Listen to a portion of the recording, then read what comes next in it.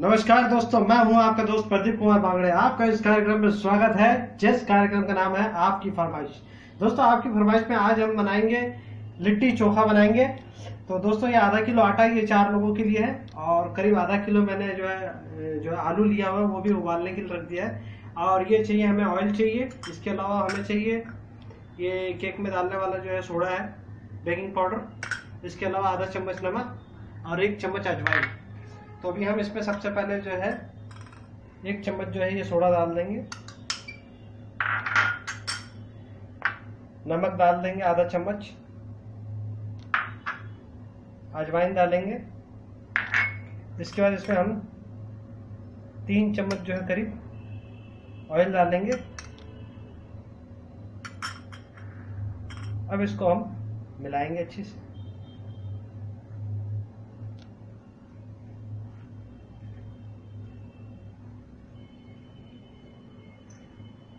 ये मिल चुका है अच्छी से।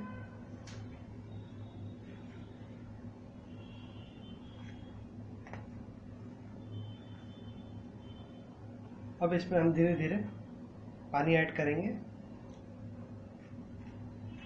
और गूथेंगे।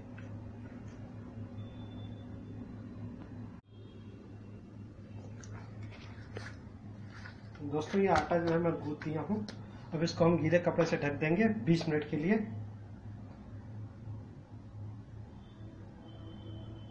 से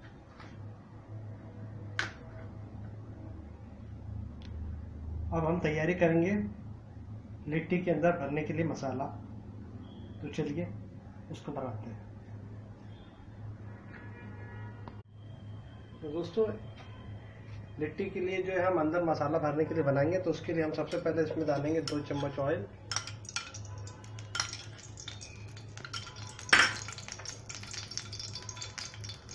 इसके बाद हम डालेंगे इसमें जीरा। इसके बाद डालेंगे एक चम्मच कलौंजी। एक चम्मच जीरा, एक चम्मच कलौंजी है।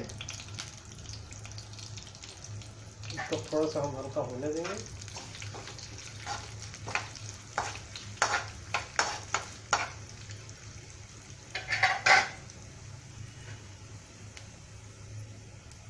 इसमें हम चार पाँच हरी मिर्च डालेंगे कटी हुई।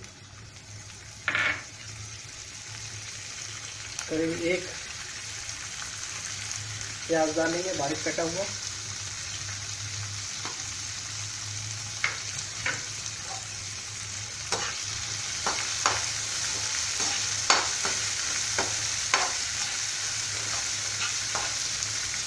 अब इसमें हम एक बड़ा चम्मच धनिया पाउडर डालेंगे।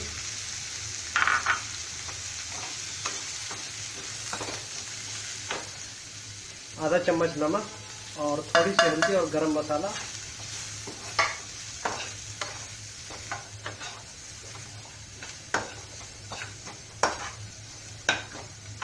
अब इसमें हम डालेंगे सत्तू। यहाँ दोस्तों, आपको सत्तू आप बाज़ार में मिल जाएगा, नहीं तो आप घर में भी बना सकते हैं। और अगर सत्तू न मिले तो आप बेसन को भून लीजिए, उसको भी डाल सकते हैं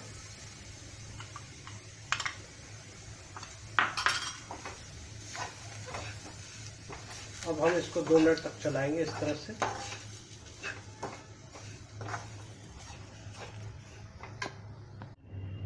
तो दोस्तों, ये मसाला मैंने भून के निकाल लिया है। आप चाहे तो इसमें अदरक, लहसुन का पेस्ट भी डाल सकते हैं। मैंने नहीं डाला है।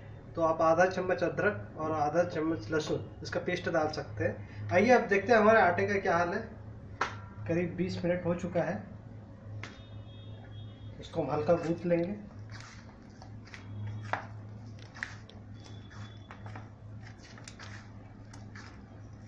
देखिए न ज़्यादा टाइट होना चाहिए, ना ज़्यादा नरम होना चाहिए आटा। अब हम इसकी जो है गोली बना लेंगे।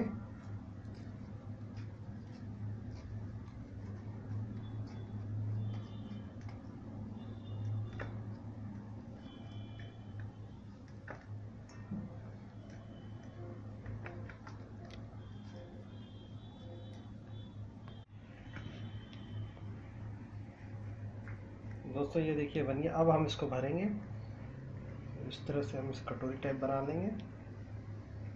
इस तरह से। और ये जो मसाला है, इसको इसके अंदर भरेंगे हम। इस तरह से।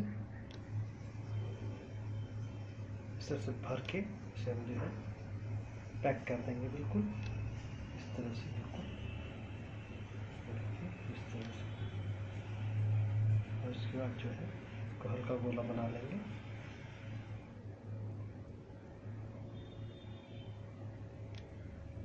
तरह से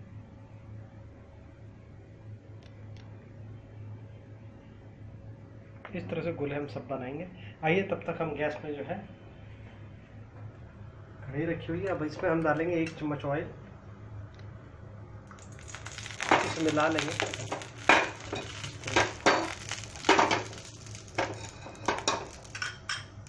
मध्यम आँच में इसको रखेंगे हम।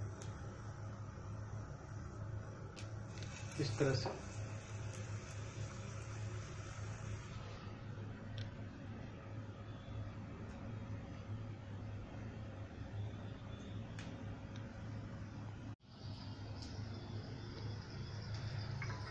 दोस्तों, इसको ढक देंगे।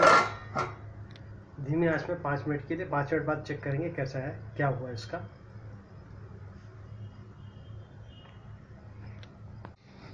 दोस्तों, पाँच मिनट हो चुके हैं, देखते हैं क्या हाल है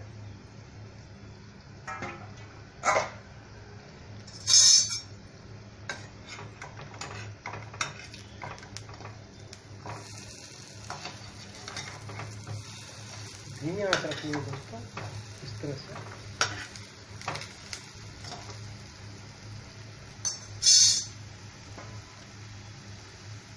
इसको फिर ढक देंगे।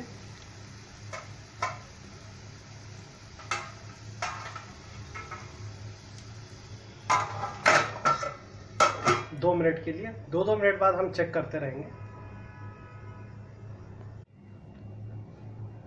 तो देखते हैं क्या हाल है। तो ये पूरी तरह से तैयार है। अब हम इसको बाहर निकालेंगे। देखिए, दो दो मिनट में देखिए इस तरह से इसको चेक करते रहा। तो ये तैयार हो चुके हैं। अब हम इसे बाहर निकाल लेंगे और इसके बाद बनाएँगे हम चोखा।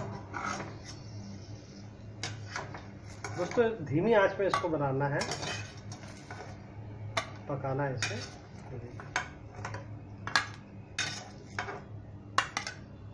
अब हम चोखा बनाएँगे।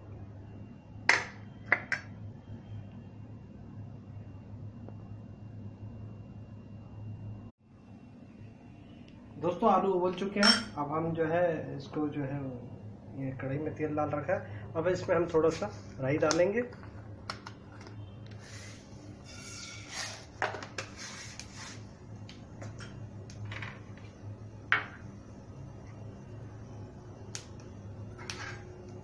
राई के बाद हम इसमें ऑनियन डालेंगे, प्याज डालेंगे, करीब एक प्याज।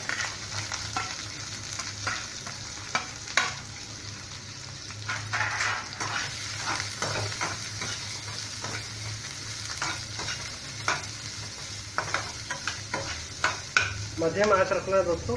और इसके अलावा जो है, एक चम्मच जो है हम जो है इसमें लाल मिर्च और नमक जो है स्वाद अनुसार और एक चम्मच गरम मसाला और थोड़ी हल्दी।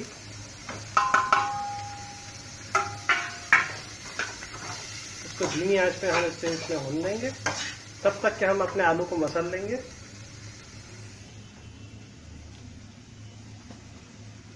इसे हम मसल लेंगे इस तरह से।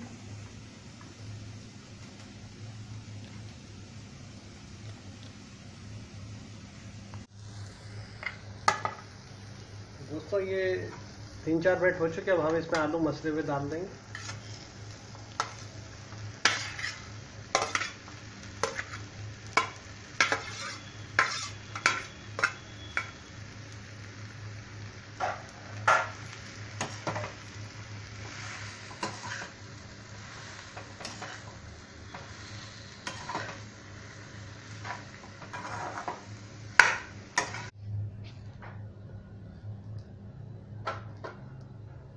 दोस्तों धनिया ऊपर डाल देंगे। ये बन चुका है। अब इसे सर्व करेंगे।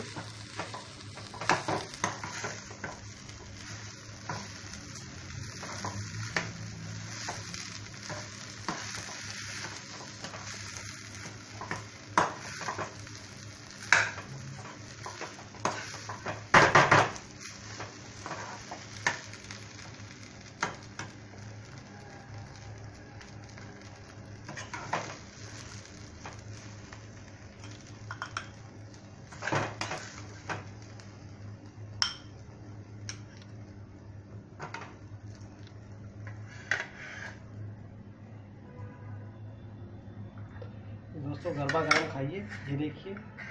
तैयार है, चोखा तैयार है, लिट्टी तैयार है, और ये आप सॉस ले लीजिए। घर में भी बना सकते हैं आप सॉस। तो ये हमारा तैयार हो गया। आइए, हम तोड़ के देखते हैं अंदर कैसे है, क्या हाल है। देखिए, बिल्कुल पक चुका है, बिल्कुल। तो अब इसे गर्मा गर्म खाइए, और मुझे बताइए कैसा लगा आपको। तो दोस्तों इसी के साथ मुझे इस कार्यक्रम से जाने की इजाज़त दीजिए। नमस्कार जय हिंद।